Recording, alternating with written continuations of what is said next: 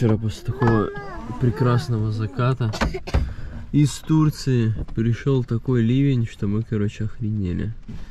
И ночка была жесткой, потому что окна не откроешь, он дождь вообще косой, все заливает, поливает.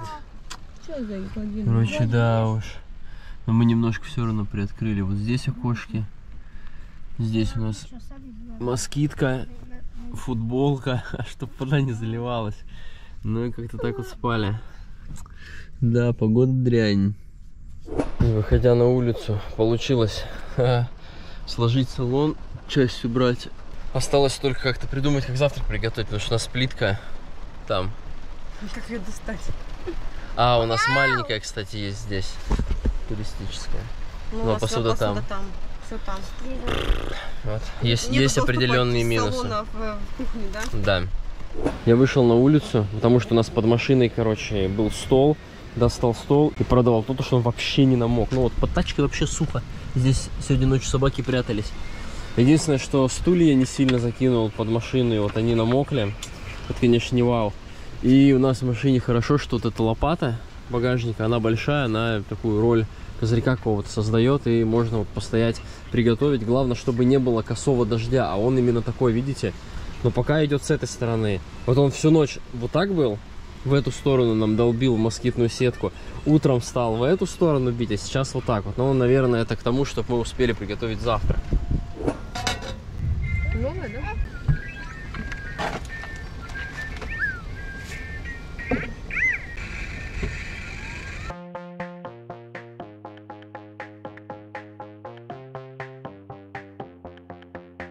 Я пока готовлю нам вторую партию яиц, а мои уже сидят, кушают.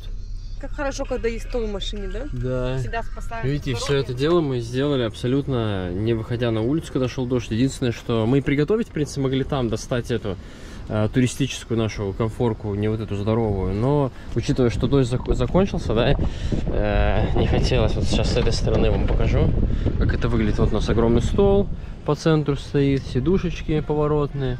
Ну и красота. Все, приятного аппетита, кушайте. Как же мы любим путешествовать на машине. Ну, вы прекрасно это знаете, кто давно за нами наблюдает. Мы начинали путешествовать на Вольве XC90, и тогда у нас была палатка. Она, кстати, сейчас есть, тоже ездит до сих пор с нами. Но мы иногда спали в машине, там была такая огромная тоже кровать, иногда в палатке.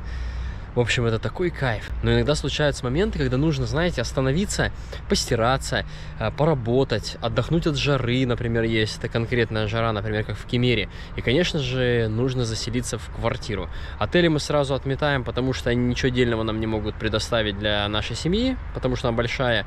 А вот квартиру снять сразу со всеми удобствами, конечно, самый-самый вариант. И где мы ищем квартиры, как рекомендация, это, конечно же, сервис суточно.ру. Огромное количество квартир, отзывы, рейтинги, статусы суперхозяев, очень классная фильтрация. Также вы можете поискать квартиру не только списком, да, выпадающим, а еще и посмотреть, где на карте находится та или иная квартира и сориентироваться уже на местности, где вы будете дальше э, жить, пров- проведете какое-то количество времени. А, Также у Суточно.ру есть крутая штука, то что сейчас они, если вы путешествуете, например, по России, то за каждое бронирование от вашей суммы они вам возвращают кэшбэком на лицевой счет э, 30%. А эти 30% вернувшегося кэшбэка вы сможете потратить на дальнейшее бронирование жилья. Мне кажется, это супер классное предложение. Если вдруг вы путешествуете за пределами России, то вы также можете пользоваться Суточно.ру, только без кэшбэка. Они шагают по миру, и у них э, с каждым днем все больше и больше предложений за рубежом. Ссылочку я там оставил в описании, по которой вы сможете забронировать жилье еще гораздо выгоднее. Обязательно пользуйтесь. Что тут скажешь? Тучи еще идут. Мы успели позавтракать, осталось только кофеечки. Все на самом деле. Утро-то удалось. Пусть и с дождичком, но ничего. Да, как не приедем в Батуми, всегда поливает. В том году тоже приехали. Ливень такой, здесь просто гоние плыло. И мы тогда сняли квартиру на это время. Вот кто не смотрел выпуски, посмотрите. Вот что сегодня делать не знаем. Вообще по прогнозу сегодня дожди, завтра и всю неделю будет просто облачно. Но облачно тоже такая история. Дождь обещали только сегодня с 10 утра. А получается, что Он начался еще вчера вечером. Ну, как говорится, рядом горы, горы сами создают погоду, сами решают, когда идти дождю, когда не идти дождю. Ну вот про что я и говорил. Просто... Вот это да, опять полил. Единственное, что не успели сделать, это помыть посуду. А так, в принципе, все можно хоть куда переместиться, либо в машине сидеть, заниматься пока своими делами. Пока поливает дождь, мы устроили кинотеатр. Позакрой еще холодно. Да пусть зайдет воздух-то. Ой. Вот хорошо воздух какой.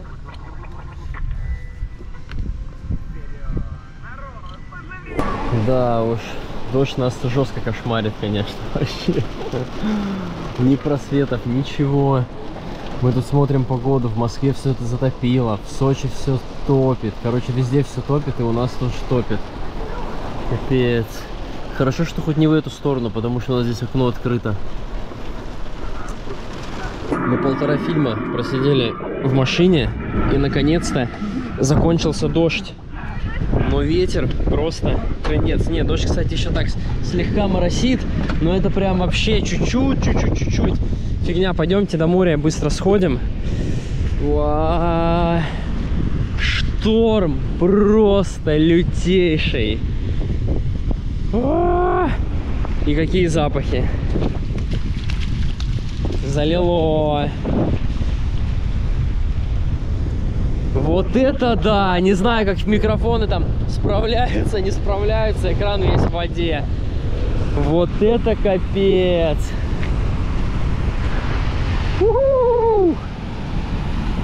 Сколько они высотой вон те дальние? Метра три, наверное. Вот это капздец. Ой, никого вообще не осталось. Смотрите. Раз, это автодом с российскими номерами краснодарские, это казахстанские номера. Ну и мы только стоим и все. И больше нету никого. Надо сейчас тоже поехать куда-нибудь пообедать, потому что готовить в такую погоду совсем неохота. Вот такие будни ванлайферов. У, да. Еще надо, кстати, посуду домыть. Это я то, что я не успел сделать. Намылить ее намылил, а вот промыть не успел. Так, ну что, мы выдвигаемся. Главное, что здесь нигде не сесть, потому что, видите, лужи потоплены. Да, штормит знатно. Ладно, поехали. Мы тут, видите, выехали на асфальт. а Тут столько лошадок. Маленькие, поньки. Вон они, красавцы, а. Какие бравые. Лошадки, лошадки, как красиво. А это же коровки. Не совсем лошадки. Проскочили, пришлось развернуться. Заедем сейчас опять вот на эту мойку, где течет клевая водичка. Опа, наберем баки и дальше отправимся уже кушать. Напор, конечно, сегодня вообще не радует. Эм, да, я думаю, что верхний бак вообще заправлять не будем, потому что мы тут усинем сейчас. Мимо проезжали, увидел здесь картинку с щетками. Думаю, дай сразу поменяю щетки. Поставил. Цена вопроса 30 лари. А? Ну, лучше, чем было. Все, вот теперь точно едем кушать. А то у меня, короче, те-то стали такие дубовые. И э, один вообще развалился весь нафиг. Поэтому надо обязательно было поставить. Шикарно. Вот он огромный торговый центр. Мы, видите, уже подъехали. А что, на платная парковка, что ли, не пойму? Два лари. Один хаур, два лари. Ну давайте попробуем заехать. Не знаю. Как мы потом просто оплачивать будем. Пойдет с карты, не пойдет. Ладно. Погоди, это мы вообще к отелю подъехали. Ну потому что. А, и вон торговик сразу. А, я понял. Парковка плавно перетекающая в этот. В ТЦшку, да. Мы пробежались там по ресторанному дворику. Ну, в Багдаке ничего. Короче, мы хотели поесть местную еду. В итоге зашли в местный рестик. Тут вообще лодочка стоит на наши деньги косарь 27 лари. А Супы тоже там что-то по 17, по 18 лари. Ну это дофига, 500 рублей за суп. В итоге поедем все-таки в наш любимый уже дом Хинкали. Но почему-то везде на картах, вот я вот сколько вожу, он пишет, больше не работает. Но мы уже в нем же ели в тех выпусках. А почему-то на картах пишет, что не работает. Ну да ладно, короче, едем туда, кушать вкусно. Выехали с парковки. Цена парковки одно лари. Надо было мелочью дать, а я что-то картой. Блин, да как так-то вы что? Ёпа, сате, блин. Если поедете в Грузию, в Батуми, то знайте, что центр Батуми стоит конкретно вообще. Вот который раз мы сюда суемся, и который раз просто трендец. Ехать там буквально вот сколько? Два с половиной километра, он пишет 15 минут. Я ненавижу пробки вообще. Заодно, коль мы в центре, да, покажу вам немножко архитектуру. Архитектуру Батуми. Мне нравится, как они э, достраивают у себя хлопцы, откуда не возьмись, бац, балкон достроили. Как так? У-ху, на улице дождь. Мы идем. Кое-как вообще нашли парковку. Вот прям подальше оставили. Чё? Супермаркет? А, ну можно сразу что-нибудь купить будет, ага. Ой, вообще, короче, прикол. Погодка. Но завтрашнего дня должно быть вроде все норм. Ну что же заказать еще в дом хинкали, как не хинкали? Конечно, хинкали. Сейчас еще нам принесут две хачапури, и мы будем вообще довольны. Конечно же, хачапури лодочкой. Блин, какие они вкусняцкие, да. В прошлый раз дети не доели, поэтому мы заказали одну на двоих. Ну, Мирошка, грузин. Ну и деткам принесли мини-хинкальки. Ну, по сути, пельмешки, но безумно вкусные. На, Кадюшка, вилочку, на. Все, нам приятного аппетита, будем кушать. Да, в этом ресторане можно объесться. Ну, я не знаю, мне кажется, вообще нормальные цены. 100 лари вышло, ну меньше, грубо говоря, там 92 лари вышло. И плюс они накидывают сразу чаевые, что очень хорошо, потому что налички нету и оставить нельзя, а так они вкручивают этот сервис. Немножко вам обзор цен. Вот молоко вот мы берем 4,95. В пакетах вообще гораздо дороже. Вот это вот, кстати, подешевле. Ладно, пойдем дальше. Так, это что? Это сметана. Артем, отойди, пожалуйста. Это сметана, тоже почти 5 лари. Турецкий продается писим по 2 Яйца. Вот мы такие взяли за 4,29. Это что? А, это 15 яиц, 8,29. Масло 9,85. Вот, президент вообще, смотри, денег это чуть- Это 20 лари, это кажется 700 Обалдеть. рублей. 700 рублей. 600 рублей масло. Есть, кстати, крупы. И макароны. Вот, гречка 2,50. Это что такое? Сахар. Сахар Сахар 2,60. Мука 1,75. Ну, на развес, конечно, так себе удовольствие. Это всякие ништяки. Твиксы, баунти, киткаты. Вон мука, есть и в таких пачках. Дошики, макароны. Смотрите. Сахар, рис. Гречка тоже есть. Масло сливочное. Мы заскочили в магазин после кафешки, и, ну, чтобы на ужин у нас там что-то было. Вот как в магазин сюда не зайдешь, вот чуть-чуть прям набираешь 16 лари. Вот даже Артем говорит в магазине, папа, смотри, говорит, опять 16 лари. А, решили сейчас поехать в кемпинг э, для того, чтобы помыться в теплом душе, постираться, надеюсь, там будет. Вот. Э, Ну и, в принципе, посмотреть грузинский кемпинг, потому что в Грузии в кемпингах мы еще не стояли никогда. Правильно? Вот. Поэтому поехали вместе с нами. Но пока бесконечные пробки Батуми. Мы вот в магазин заходили, показали вам цены. Э, Напишите, пожалуйста, вот э, свои цены на эти товары.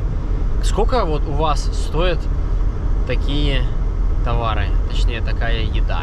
Нам до кемпинга ехать 19 километров, поэтому мы вместе с вами сейчас еще и заправимся. А, надеюсь, топливо будет норм. Кстати, по поводу того, как э, конвертит Зиратовский банк да, в Грузии. Вот мы поели, смотрите, на э, 100 лари. Это, по идее, э, 3, 3 500 по сегодняшнему да, курсу. А Зират списал 1150 лир. А по идее должен был 1000 лир. А по идее, да, должен был только тысячу лир списать.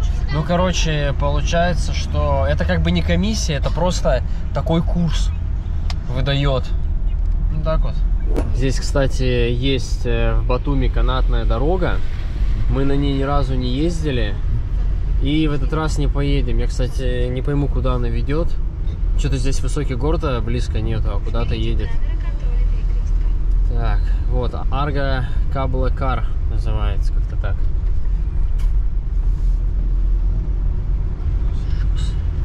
И даже сейчас она работает. Я, правда, вообще реально не понимаю, куда люди ездят. Еще такая погода. Зачем им это? Вообще не понять. А остановки, кстати, здесь тоже транспорт достаточно развит. Есть электронные таблички на каждой остановке в Батуми. И можно отслеживать, во сколько приходит э, транспорт, автобус и спокойно ездить. Архитектурка. Так, ну что же, давайте попробуем заправиться. Я так понял, что мне заправиться-то нужно буквально на 30 лари. А дизель по сколько, даже не знаю. Ладно, сейчас посмотрим.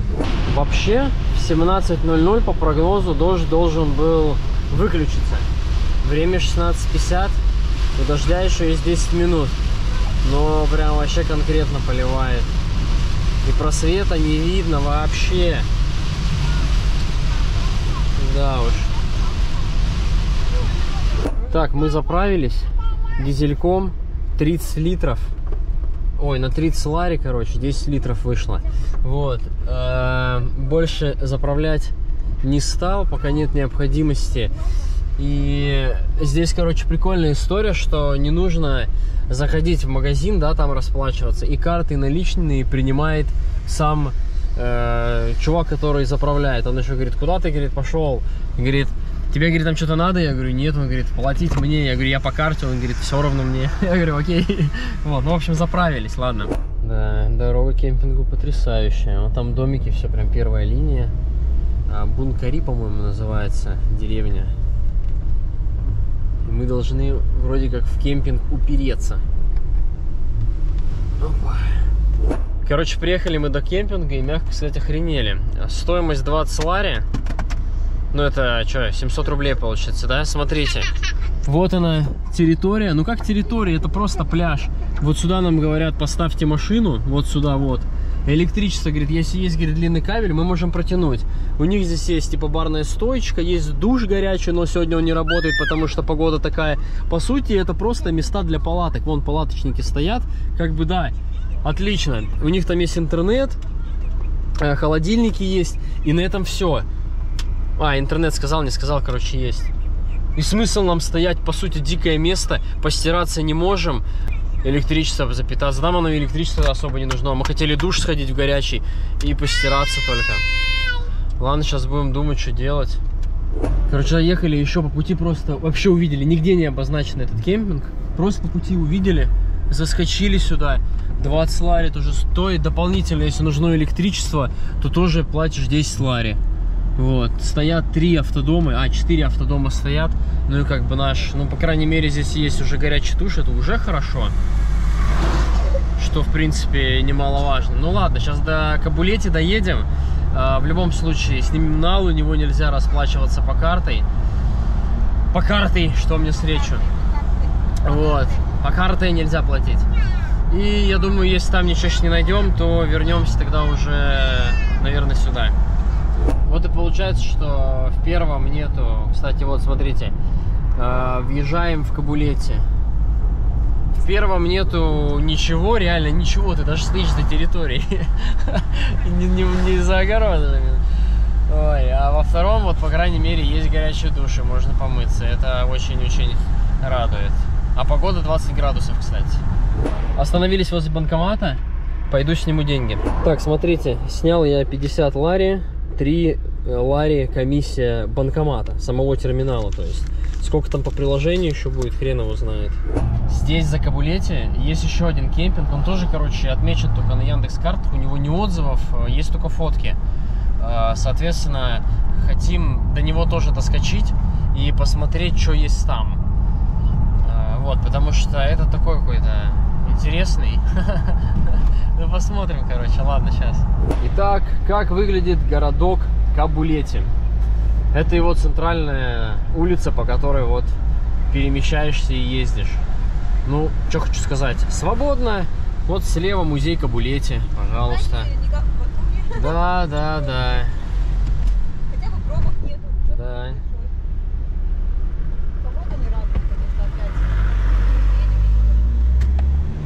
Это, видимо, здание администрации Кабулети. Вот так вот. Истанбул, Истанбул текстиль. Во, стамбульский текстиль, пожалуйста, магазин. Прикольненькие рестораны такие подсвечиваются. Жигуль Шаха едет.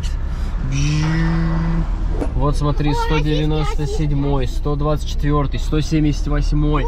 Просто на 2 квадратных метра 4, 4 машины с российскими номерами. Вот смотрите, еще следующий, 799.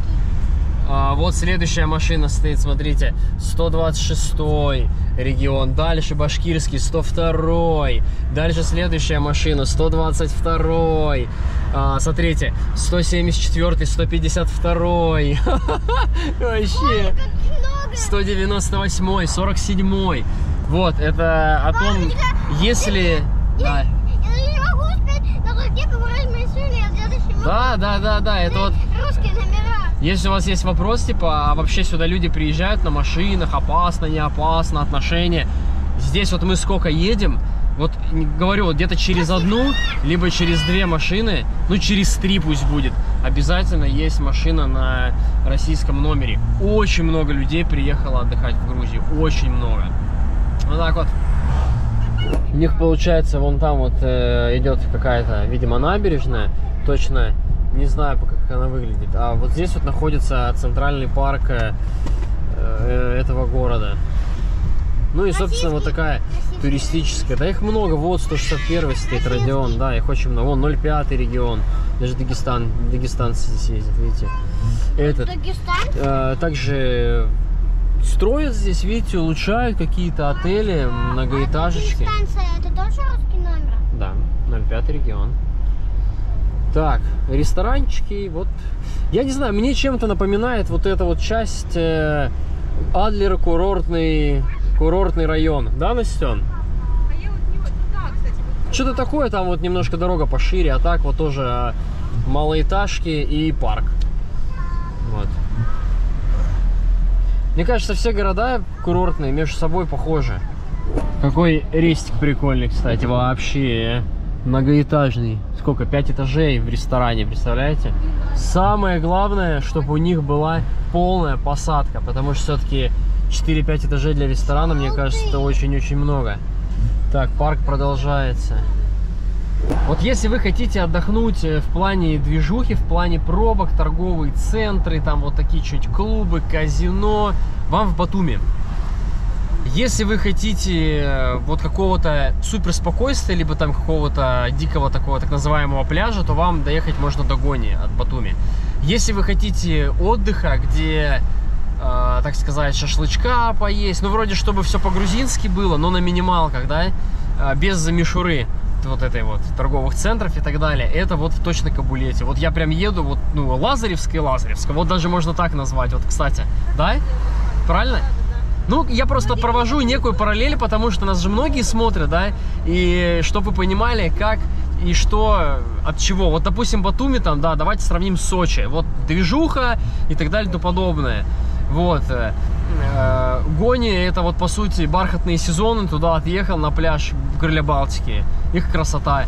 А вот это, ну, реально Лазаревская парки, зелень, очень много машин, вот этих палаточек, пробок нету.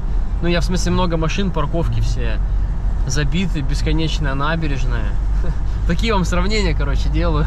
Тоже гоню, да, только здесь трасса, и вот можно, по идее, вот здесь и встать, вон один автодомик стоит, вон все поле. Вот где-то здесь дальше есть вроде как кемпинг, я не знаю. Сейчас попробуем доехать, посмотрим.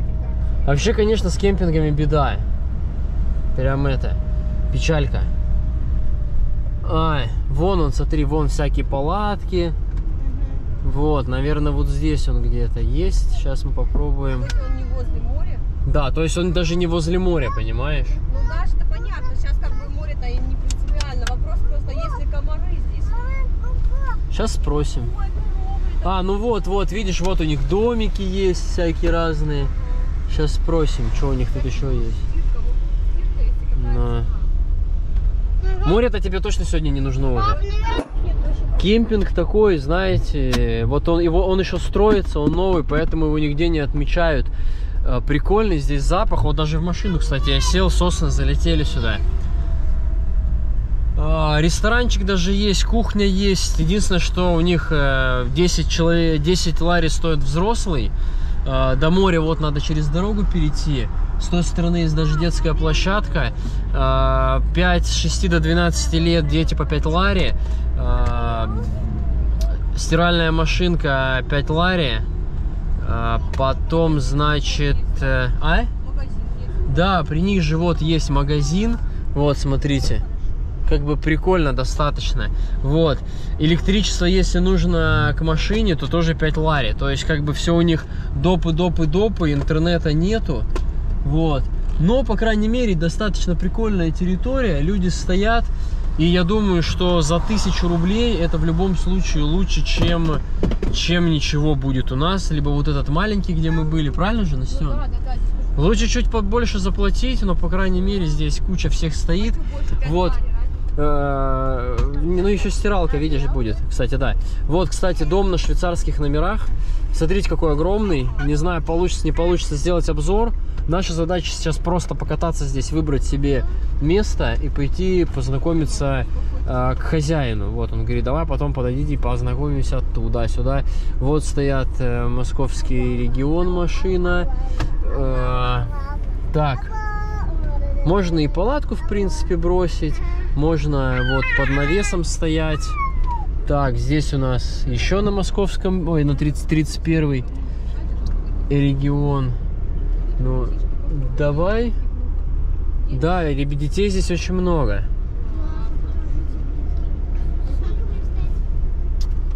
Русская баня у них есть, вот, пожалуйста. Но он говорит, это уже другой сервис. Туда-сюда. Кстати, Артем, Так, 163 регион. Вот. А, дом 77 регион. Ну, собственно, вот, как бы люди, эм, люди, люди отдыхают, приезжают, отдыхают. Душ вот, вот в этой постройке все там есть, Настен. Так, все, мы припарковались. Вот так вот встанем между соснами. Вот так вот рядом будут ребята стоять, но они с палаточкой. Ух, свежо, хорошо. Сегодня будет и запах спать, и... Комаров обещают нет, да? Комаров, говорят, вообще здесь нету. Слушай, это шикарно, я сюда не Да, уеду. ну. После, после гонии, что мне эти Но я им сказал, в Батуми нас сожрали. Он говорит, типа, ну Батуми-то понятно. А, Вот так вот. баньку А здесь вот, вот не должно. Банька есть, да, 50 лир, кстати, стоит. Ларри. Блин, Лари стоит, да, вот и это, не знаю, Это короче. сколько? 50 лари, это сколько? Час? 1700 где-то. Час, пап, час Ну. это? Час, да? Такие Да. часто за глаза в бане. Здесь, э, значит, раковины. А здесь вот расценки, про что я говорил. Смотрите, запоминайте. А душ И душ, ли? душ, вот. Первым делом пойдем мыться. Видите, достали полотенчики. Еще так дует ветерок прохладный, короче, мы прям отвыкли. Надо срочно это а, помыться и одеваться, короче, потеплее, потому что это дыр-дыр-дыр. Короче, мы уже постелились. Вот так вот, огромная кровать. А, значит, э, достали даже теплые вещи, представляете, потому что, ну, ветер такой не good. Вообще надо было пацанам ветровки достать, Настя, чтобы они не сырели. В машине? Ну, не знаю. Короче, вон они, развлекаются. Все, идем душ. Моемся. Кстати, вот этот автодом, он такой огромный. Видите, у него еще это слайсер выезжает. Вообще по кайфу.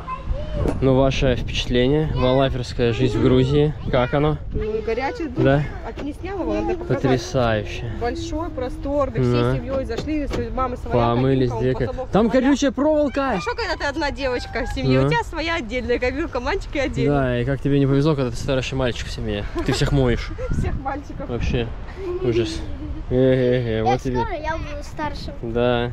Но же стемнело, причем так это, быстро. Я успел только там рабочие моменты какие-то решить, буквально 30-40 минут, и вот темнота, ну, почти, да, темнота, ну, все уже.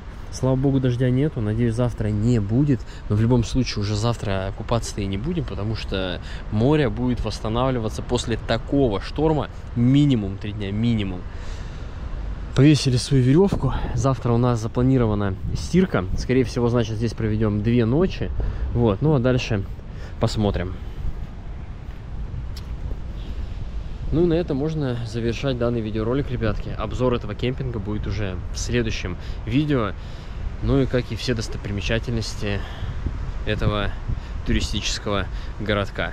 Лайки ставьте, пишите комментарии, подписывайтесь на нас в телеграм-канале, в других социальных сетях. Не забывайте. Ну и все важные нужные ссылки вы найдете там в описании, а также в нашем бесплатном PDF-файле, который есть в нашем телеграм-канале. Пока!